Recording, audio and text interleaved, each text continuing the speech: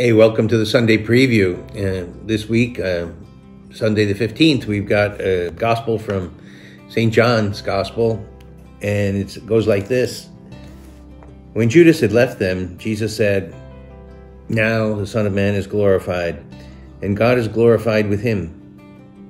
If God is glorified in him, God will also glorify him in himself, and God will glorify him at once. My children, I will be with you only a little while longer. I give you a new commandment love one another.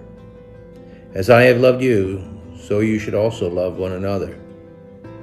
And this is how everyone will know that you are my disciples if you love each other. The Gospel of the Lord. Well, this scene is from the Last Supper. Um, where Jesus gives this new commandment of love. And the new commandment of love goes far beyond anything we else we have in the gospel, things Jesus said. Remember, Jesus had given the golden rule do unto others as you would have them do unto you. He said at another time, love your neighbor as yourself, and love God with all your heart, soul, and all, you know, all your strength. But now at the Last Supper, he raises it to another level where he says, Love one another as I have loved you. And afterwards, I'm sure the disciples realized the power of what he had just said after they saw him crucified the next day. And he loved them to the end, all the way up to death on the cross. And he's telling them that they have to love each other in the same way, with that kind of superhuman love, supernatural love that goes beyond just feelings or sentiments or even even just do unto others as you would have them do unto you.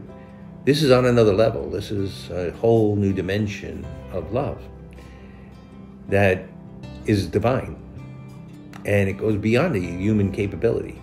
Right? Who can love like God loves us with that totally generous and self sacrificing love up to death. I mean, it's hard enough for us just to even get along, right?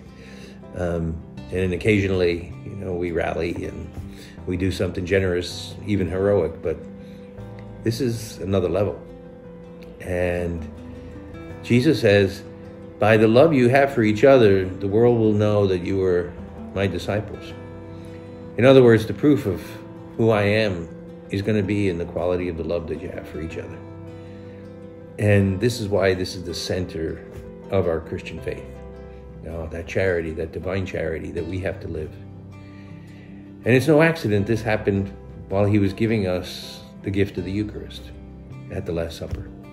Because the Eucharist is the key to that. It's the it's the formula for us to have our hearts transformed in such a way that we can love in a superhuman way, in a supernatural way, beyond what we're capable of.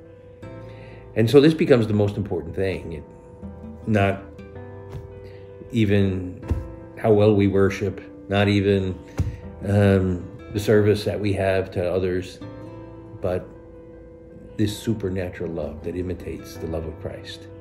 And the Eucharist is the key.